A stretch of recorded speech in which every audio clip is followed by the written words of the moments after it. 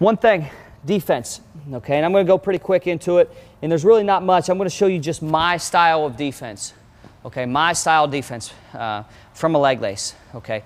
If no matter what, I transition everything, I get taken down. There's one thing I like to do, okay, and that's pull a knee up into my belly, up into my, my armpits, okay. Usually for me, it's my left leg, just because I feel comfortable there. I feel like that that's where, um, you know, I feel the comfort of of, of defending from here, okay? Now, you see I transition, anytime somebody transitions and they're taking me down or whatever it may be, I always pull a leg up into my armpit, okay? And when I pull a leg up into my armpit, I sort of put my weight over into that leg, into my thigh, cover it with my body, okay? And, and for the sheer reason, the sheer reason that, that if John Michael comes up here and he's trying to fight into a gut wrench, try to fight into a gut wrench, there's no space there okay? There's no space, okay? He can't just go in, you know, if I'm here, he has space to come in and get a lock, do all that stuff, okay? So when I get taken down, I sort of push my body over that, that leg, okay? And I'm defending here, my shoulder's on the mat.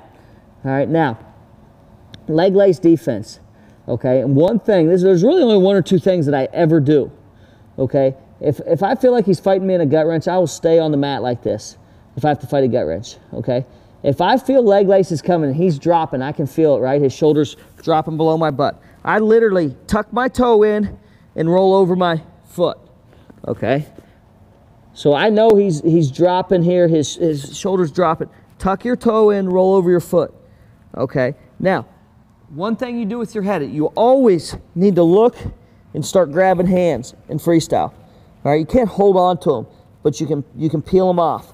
Okay, peel him off your leg. And always look to see what he's doing. You don't have to, it's not folk style. You don't have to pick your head up. Look to see what he's doing. Grab hands.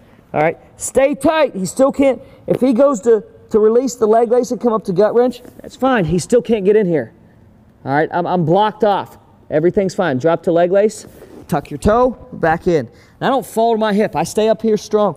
I'm still tight. There's no space in my thigh. None. Okay, and he can get all the way back here, try to pick my legs up, uh, do what he wants. All right, it ain't happening. I'm tight here, and I start grabbing hands. I peel off to tell you to get get rid of it, peel it off. I'm always looking to see where he's at. Okay, he transitions up. I fall back down. Okay, and I like to sort of turn this hand up. That way, he can't dig in. I, I, and make sure you're flexing here. You're sort of tight.